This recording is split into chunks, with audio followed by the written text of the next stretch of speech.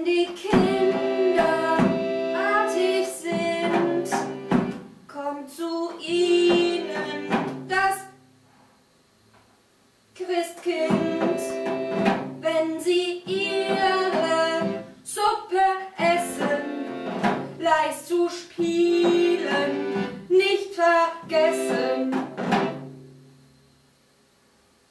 Hält die schöne